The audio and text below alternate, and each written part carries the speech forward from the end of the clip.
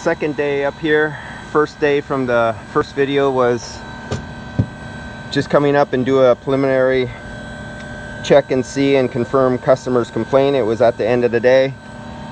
So we have the LGMV software that is the interface meant to work with um, VF, uh, VFR mini splits here and if you look real carefully right at this line below my pinky finger where it says EVV EEV that's your electronic expansion valve. And come on focus. I have bright sun up here that doesn't want to let me do anything.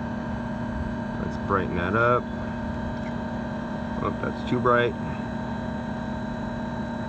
So these things are fe uh, feeding fully and that room is in the dark but that room does get air blowing into it from three other rooms that have the lights on.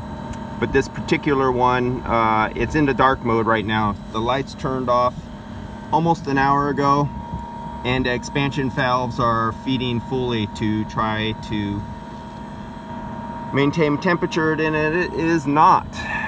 So we have no malfunctions and our temperature inverter temperatures at 143 degrees. And uh, what's our I just clamped on some meters here. Our liquid line temperature is 144 our suction line temperature is 66 degrees. And that you could read up here on the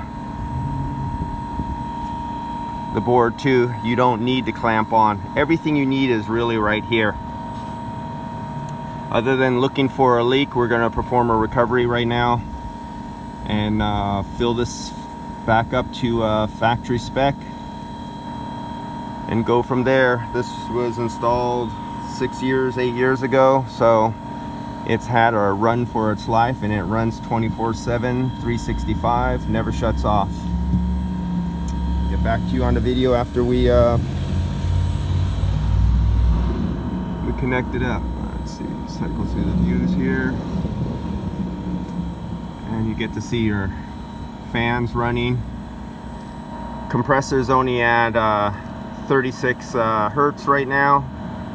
So it's not even pushing hard because the other fans but what is pushing far the expansion valves are wide open. Suction uh, suction temp for the accumulator 68 degrees. And what did I say I have coming in 66 degrees because I'm reading the temperature right after it comes out of the insulated pipe here and I'm reading it right there so it's 66 there.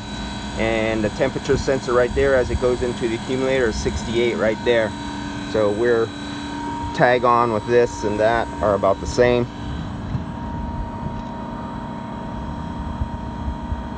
And there's our uh, inverter output of our compressor 141 degrees and what does mine say? 143 uh, degrees.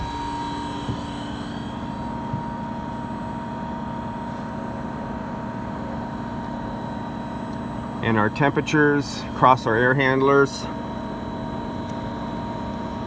We got 40 degrees 41 degrees out of all of them.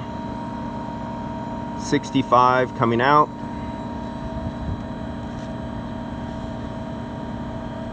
Or other way around let's word that correctly. All the fan speeds are on three.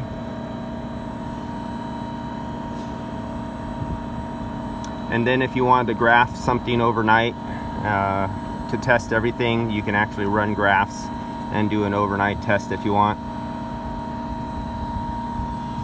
All right I'll leave you guys off here and there'll be another video after we do the recovery and recharge